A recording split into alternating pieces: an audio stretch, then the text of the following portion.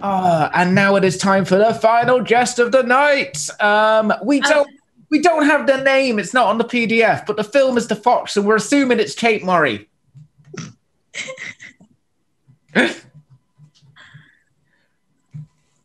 Hello. Hello. Hi. How are you doing? Good morning. I'm good. How are you? Yeah, not too bad. Hey, not too bad. Can we just wait? We just need a quick question. Are you Kate? Yes, I am. Sorry. Oh, nailed it! Yes. Your name wasn't on a little PDF, and I was just like, I don't know. Um, I'll it's get a like. actually. Thank you. You guys look wonderful. Oh, thank you Thank very much. you. So do you.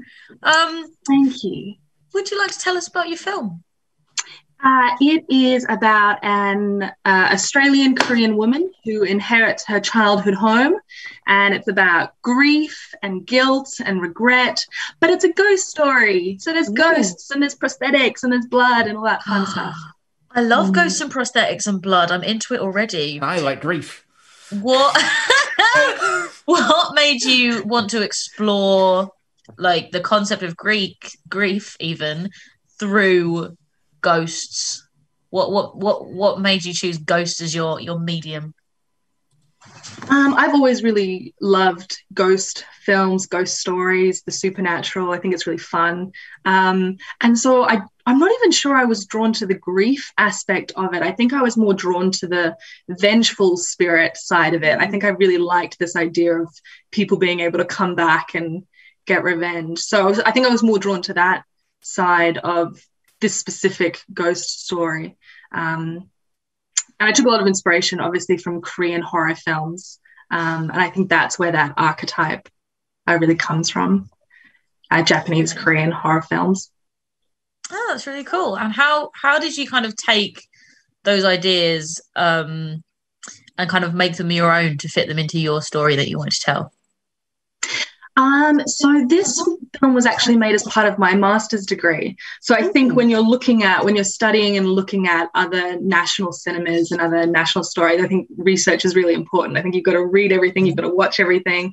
I was really excited to get to work with Ra Chapman, who's the lead actor, who's Korean Australian. So we had a lot of really great conversations about what we wanted to do with the material that we were inspired by.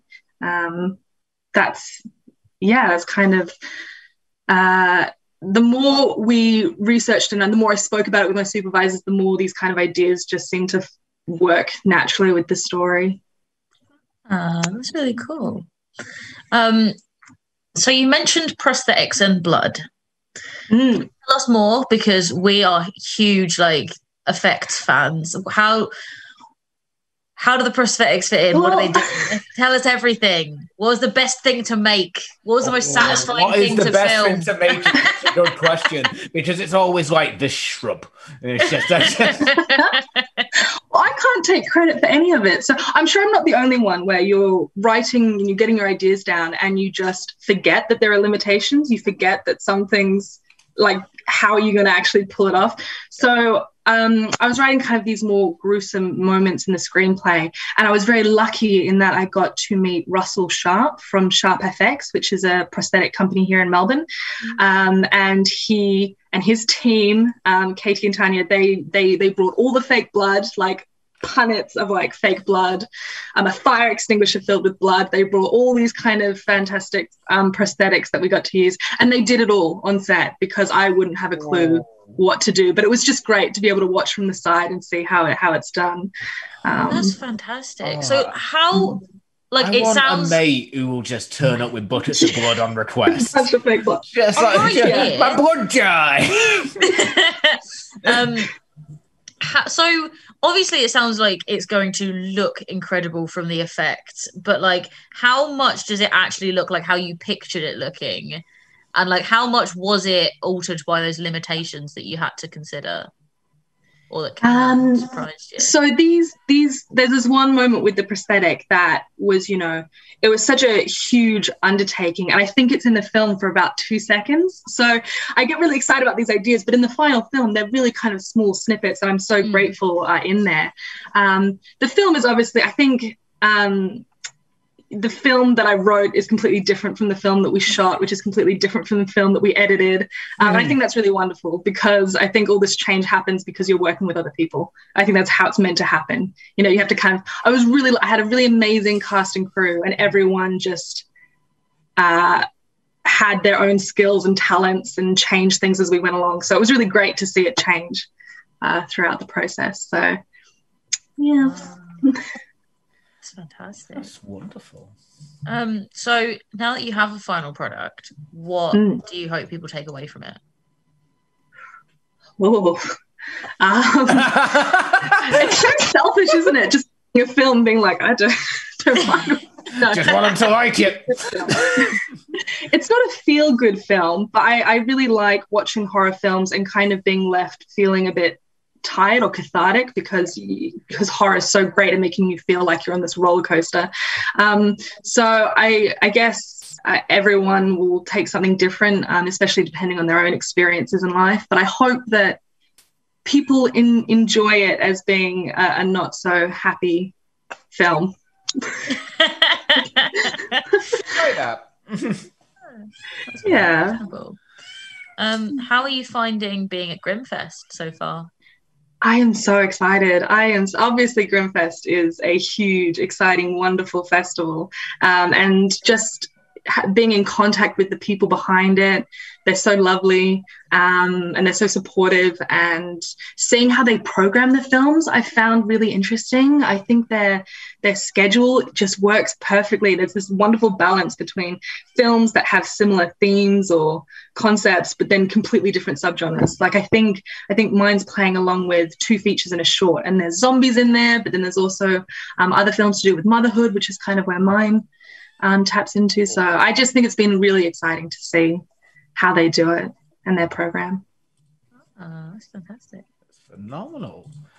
I'm so excited to see all the shorts. So we've just got our st- we've just got our strainers. It's just going to be a night. I can't wait.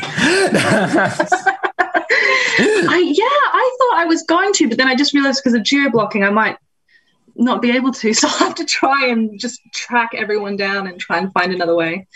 Aww. Hunt them down. Show us your film. Do some casual stalking. Kevin wants to get involved. Okay, right. Okay, you know what? He's not been on for the entire time. Meet Kevin. Hello. Oh my god, so special. She, uh, this is uh, she is called Kevin. She's the love of my life. And get off the keyboard, you wanker. Uh, so anyway, Gee, I would love to have had a cat in every horror film I've ever made, but I feel like it would be a disaster. I imagine they're impossible. Like I, every time I see a cat in a horror film and it does what it's meant to do, I don't know how they do it. It's like I've I've heard food. I have a friend who's a cat trainer, and she's like, dogs you can train with affection. Cats, it's food or they don't care. Um, but uh, That works for me. yeah, and Yeah, me, same, same. yeah. I'll do anything Um, for Astani.